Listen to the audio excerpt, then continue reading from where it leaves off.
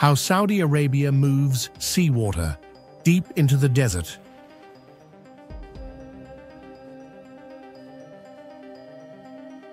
You turn on a kitchen tap in the middle of Saudi Arabia, and water pours out instantly.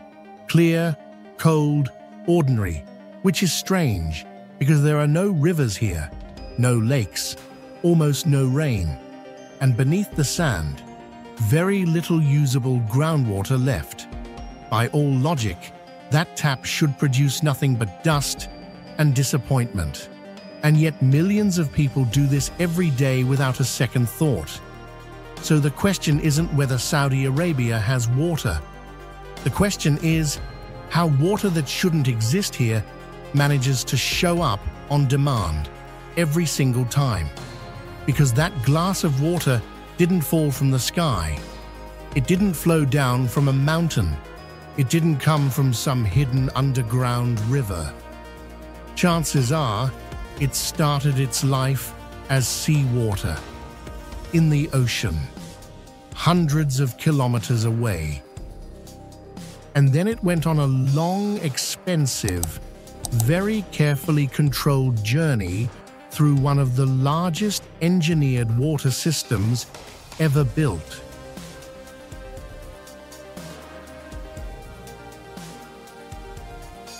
Saudi Arabia is one of the driest inhabited places on Earth. Much of the country receives less rainfall in a year than some cities get in a single afternoon storm.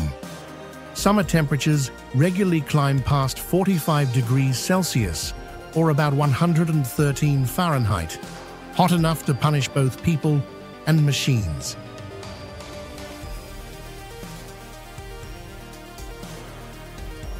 For most of human history, survival here depended on small populations, oases, and wells that were carefully protected. Water was rare, seasonal, and never taken for granted. Fast forward to today, and the picture looks completely different. Massive cities, air-conditioned malls, industries that run around the clock, even agriculture in places that used to be empty desert.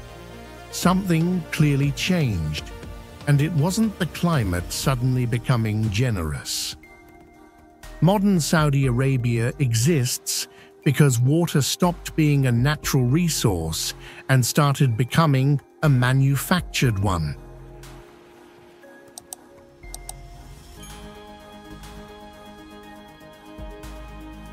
Oil may be what made Saudi Arabia wealthy, but water is what keeps it alive day to day. In the early decades of modernization, groundwater was pumped aggressively to support growing cities and large-scale farming. For a while, it worked. Ancient aquifers filled thousands of years ago were tapped like savings accounts, but unlike money, those accounts don't refill on a human timeline. Eventually, the water levels dropped, wells dried up, and the math stopped working. That forced a hard realization. If the country wanted modern cities, industry, and a stable population, it couldn't rely on nature to supply water. It would have to make its own, at an industrial scale, every day, indefinitely.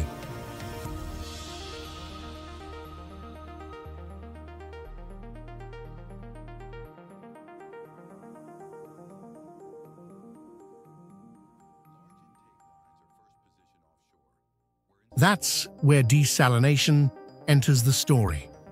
Saudi Arabia sits next to two enormous bodies of water, the Red Sea and the Arabian Gulf. Endless seawater right there, completely useless for drinking, but plentiful. Desalination is the process of removing salt and impurities from seawater to make it safe for human use. The basic idea is simple, the execution is not. At a desalination plant, seawater is either heated until it evaporates, leaving salt behind, or forced through ultrafine membranes that block salt molecules while letting water pass.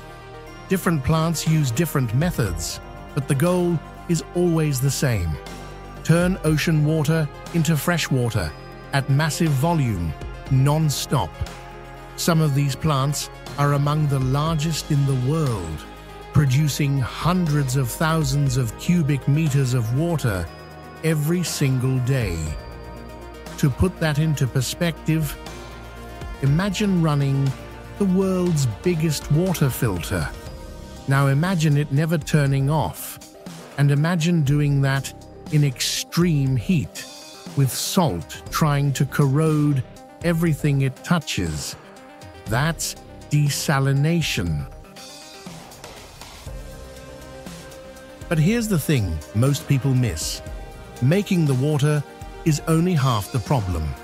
Sometimes not even the hardest half, because once you've made fresh water on the coast, you still have to move it. And water, inconveniently, is heavy. A single litre weighs one kilogram. A cubic metre weighs a metric ton. Now multiply that by billions of litres. Water doesn't glide politely across the landscape. It resists, it sloshes, it builds pressure, and it really doesn't like going uphill. Unfortunately, much of Saudi Arabia's population lives inland, at higher elevations, far from the sea. So the country made a decision that shapes everything you're seeing today. Instead of moving people to water, it would move water to people. That decision led to the construction of a vast pipeline network stretching hundreds of kilometers across deserts that look completely empty from the outside. These pipelines are enormous. Some are wide enough for a person to stand inside. They're built from thick steel, designed to survive extreme temperature swings, shifting sand, and decades of constant pressure. In many places, they're buried beneath the ground to protect them from heat and damage. In others, they run above ground, supported by concrete structures that allow expansion and contraction as temperatures rise and fall. From the air, you might never notice them. On the ground, they quietly do the most important job in the country.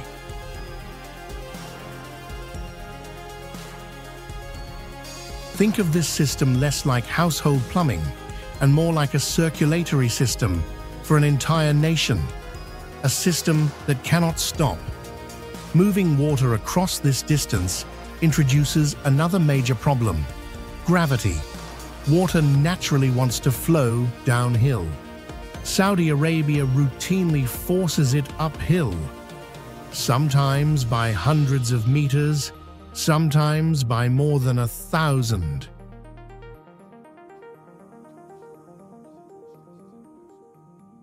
To do this, the system relies on powerful pumping stations placed at intervals along the pipeline. Each station acts like a relay runner, taking water that's already under pressure and boosting it further along the route.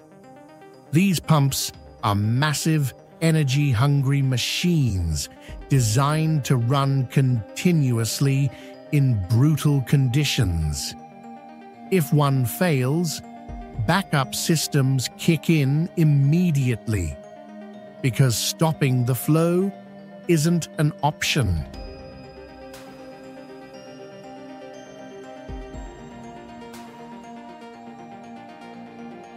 And here's a strange twist. In some cases, the energy required just to move the water inland can rival the energy used to desalinate it in the first place. Water here behaves less like a natural substance and more like an industrial product, something that has to be manufactured, transported, and managed every step of the way. Pressure becomes both your best friend and your worst enemy. Too little pressure and water won't reach its destination. Too much, and pipes can rupture. A failure in the middle of the desert isn't just inconvenient. It can cut off supply to entire regions.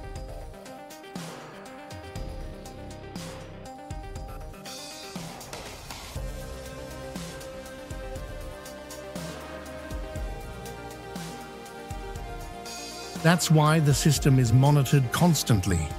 Sensors track pressure, flow rate, temperature, and structural stress. Control rooms oversee vast sections of the network in real time.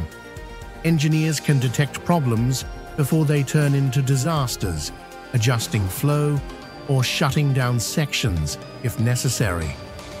The real achievement here isn't just scale, its reliability. A system this large doesn't get applause for working once. It gets judged on working every day quietly without anyone noticing.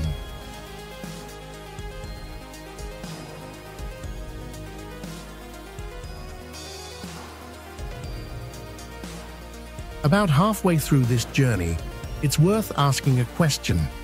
Would you be comfortable knowing your city's entire water supply depends on a single engineered system running non-stop through the desert? No rivers as backup, no rainfall safety net, just steel, pumps, and planning. Drop a yes or no in the comments.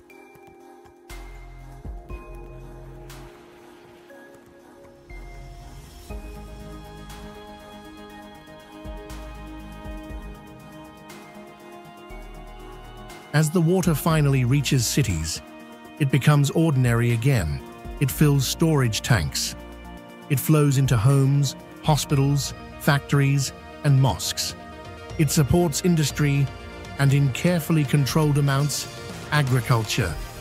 Saudi Arabia once tried large-scale desert farming using groundwater, but today, water-intensive crops are tightly regulated or imported instead. Every drop delivered inland has a real cost, and everyone knows it.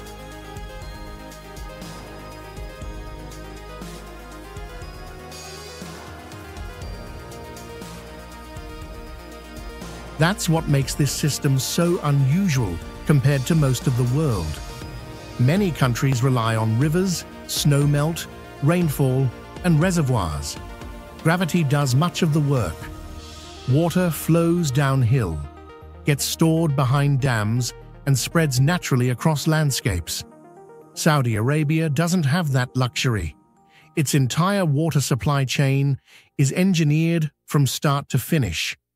From ocean intake to household tap, nothing is left to chance. Few countries attempt this approach at such scale because it's expensive, energy-intensive, and unforgiving. But for Saudi Arabia, it isn't a bold experiment. It's the only option. And that brings us back to that glass of water.